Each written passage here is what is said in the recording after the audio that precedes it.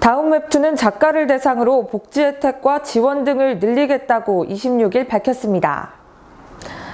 주요 지원은 건강검진, 경조사, 휴재, welcome 키트와 산돌 폰트 제공 등입니다. 또한 작가 간의 교류를 위한 작가 파티를 마련하고 기존에 있던 창작자 복지도 확대합니다.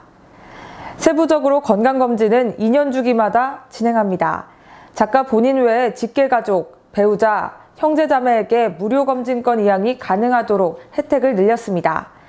작가는 작품 30화 단위 협의하에 시즌 휴재를 선택할 수 있으며 설과 추석 등 명절 연휴 휴재가 가능합니다. 경조사 지원도 늘립니다. 연재 중 상을 당한 작가는 미리 보기 차감 없이 1회 휴재할 수 있습니다. 결혼 시 화환을 전달하고 작가 본인 혹은 배우자 출산 시 선물을 전달합니다. 출산 선물은 이번에 처음 생긴 제도인데요. 작가의 가정까지 배려하자는 취지입니다.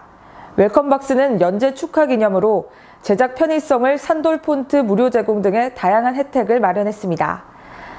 다음 웹툰은 앞서 22일 작가 파티 웹투나잇을 성공적으로 개최하고 작가 간 교류를 활성화했다고 밝혔습니다. 해당 행사는 세빛섬 가빛섬에서 진행됐습니다. 총 200여 명의 작가들이 참여해 다양한 레크레이션과 이벤트, 축하 공연 등으로 진행했습니다.